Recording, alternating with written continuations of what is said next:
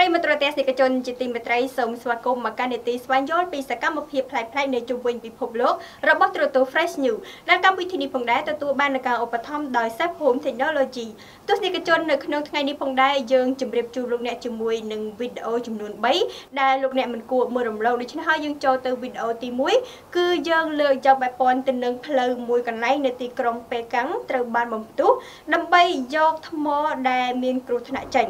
វិធីបំផ្ទុះមួយត្រូវបានប្រើដើម្បីយកថ្មដែលមានគ្រោះថ្នាក់ចេញ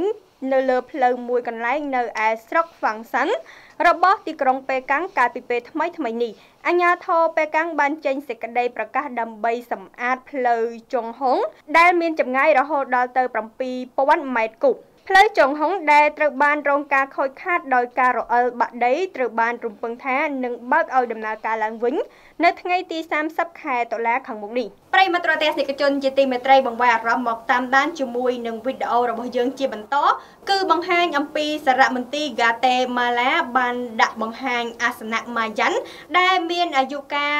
1500ឆ្នាំសារមន្ទីរជាតិបុរាណនិងវិទ្យាសាស្ត្រនៅទីក្រុង Guatemala បានបង្ហាញអាសនៈ Mayan ដែលមានអាយុកាល